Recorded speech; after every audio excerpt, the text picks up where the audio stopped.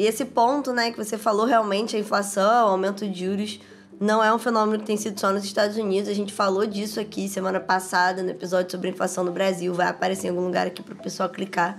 Mas nos Estados Unidos, os desdobramentos tendem a transbordar, né? Nunca é só lá.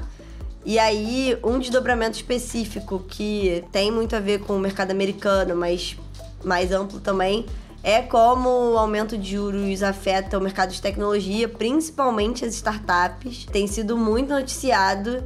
E aí, acho que nem todo mundo entende por quê, né? E tá associada quando os juros sobe, principalmente o aumento dessa proporção, né? O, o maior em 20 anos. Isso reduz a liquidez do mercado, né? E aí, essas empresas que dependem de ter recursos disponíveis de venture capital para poder alavancar, para poder crescer, elas ficam acabam prejudicadas. Então, em um mês, né, a Nasdaq acumulou queda de 13% desde o início do ano, de cerca de 30. E aí, acho que o principal assim, o que tá chamando mais atenção no quadro das startups é o cenário de venture capital, que para quem não sabe, é uma modalidade de investimento que é focada em empresa até médio porte, que tem alto potencial de crescimento, mas ainda são novas, tem faturamento baixo.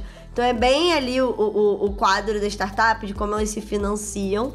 E juros subiu, inflação tá alta, o apetite por risco do pessoal fica menor, né? O pessoal vai para lugares mais seguros. E aí tá começando a ter uma ideia, né, para as startups de que eles vinham de um cenário de anos de recurso abundante. E agora tá tendo não só uma diminuição da liquidez, uma uma escassez de recursos, mas também uma maior cobrança de resultado por recursos que de fato são são dados, então aquela ideia de ah, dinheiro livre, os especialistas estão dizendo que acabou, pelo menos no, nesse curto médio prazo não vai não vai ter.